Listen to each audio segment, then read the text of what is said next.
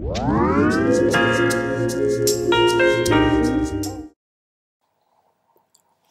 of the toughest topics to understand when we deal with security appliance is probably the world of certificates, a digital certificates. Why? Because understanding certificates means that you have to understand what is asymmetric encryption, asymmetric encryption, and hash functions.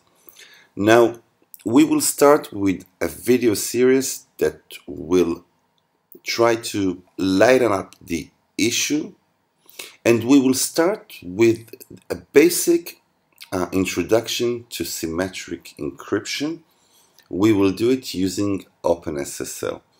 So a symmetric encryption means, and that is the very basic meaning, that we take a plain text, we use an algorithm, which is a mathematical function that uses substitution and uses transpositioning, and we are using a key, a key that is known to both parties.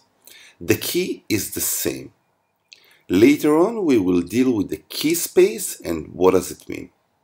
And now we will take the plain text and we will use the algorithm together with the key to turn it into a cipher text.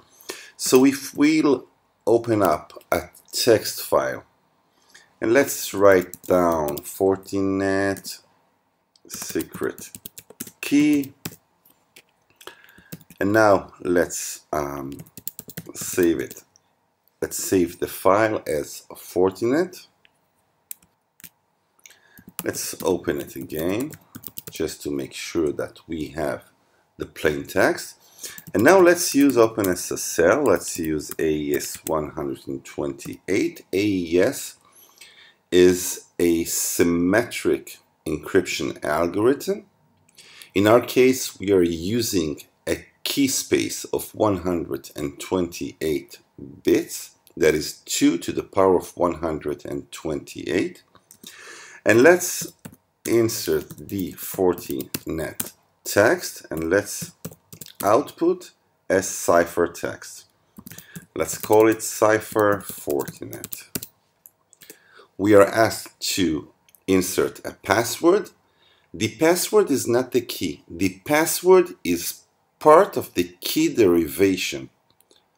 So let's enter the password. Let's enter it again.